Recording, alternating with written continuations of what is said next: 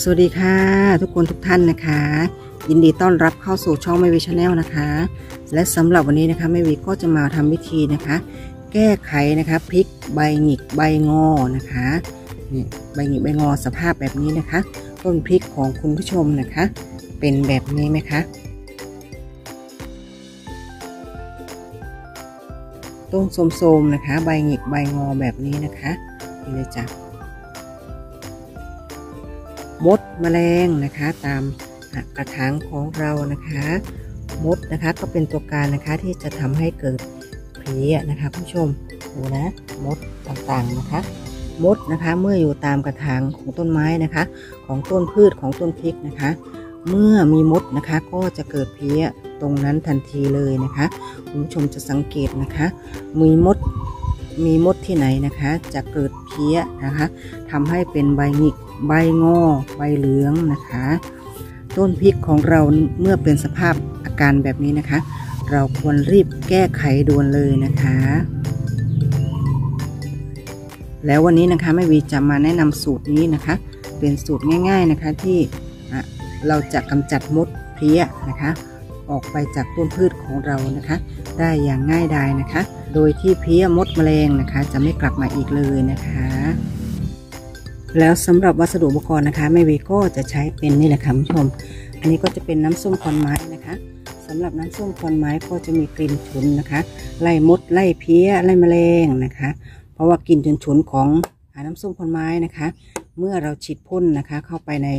ตัวเพี้ยตัวมดแล้วนะคะ ก็จะทำให้มดและเพี้ยของเรานะคะ ไม่มาไม่มาใกล้นะคะคุณผู้ชม แล้วก็จะหนีไปเลยนะคะ อันนี้ก็เป็นน้ำน้ำยาล้างจานนะคะ น้ำยาล้างจานก็จะเป็นสารจับเกาะจับใบนะคะ เพราะว่าน้ำยาล้างจานจะมีความเหนียวนะคะ จะช่วยไปจับนะคะ ตัวเพี้ยตัวมดนะคะทำให้มดเพี้ยของเราหนีกระเจิงเลยค่ะผู้ชมนี่จ้ะต่อไปอันนี้ก็จะเป็น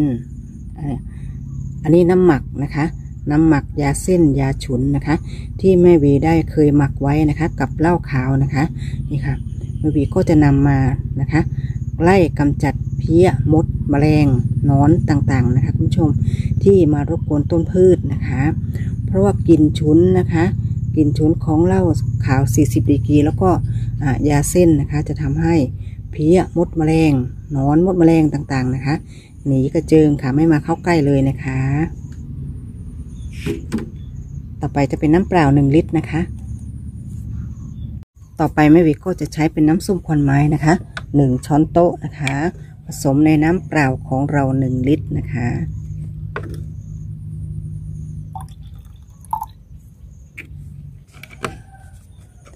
แล้วก็น้ำหมักยาเส้นยาฉุนนะคะ กับเหล้าขาวนะคะคุณผู้ชมอ่าหนึ่งช้อนโต๊ะเลยนะคะ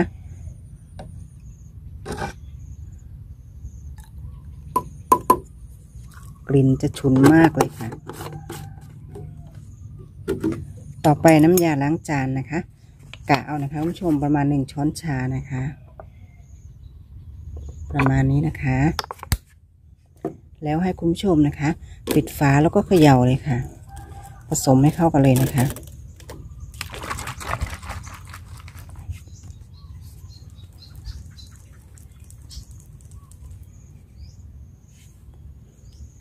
เมื่อเราเขย่าผสมให้เข้ากันแล้วนะคะ เราก็นำไปฉีดพ่นนะคะ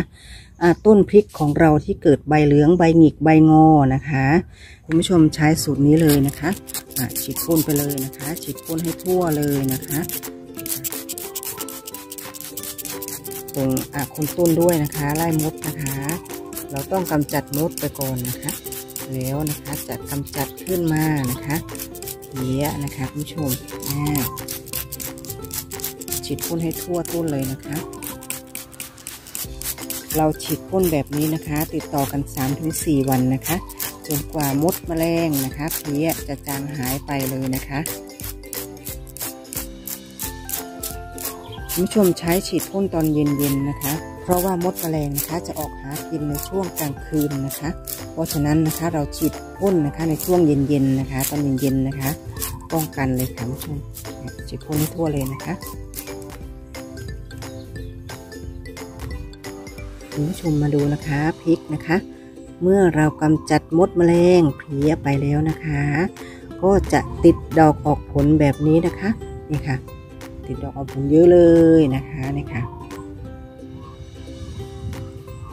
ใบของเขาก็จะสมบูรณ์แข็งแรงนะคะ อันนี้ก็จะเป็นพริกอีกพันหนึ่งนะคะ ที่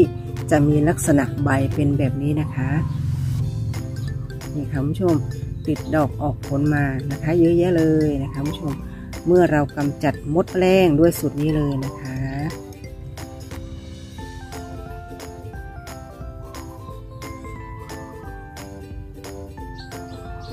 คุณผู้ชมนะคะนำสูตรนี้นะคะ วิธีนี้นะคะไปกำจัดเพี้ยมดแมลงนะคะกำจัดศัตรูพืชนะคะ ที่จะทำให้เกิดใบหงิกใบงอนะคะ เมื่อคุณผู้ชมทำสูตรนี้แล้วนะคะ นี่เลยจ้ะผลลัพธ์ที่ได้นะคะพริกของเรานะคะ จะติดดอกออกผลแบบนี้เลยค่ะคุณผู้ชม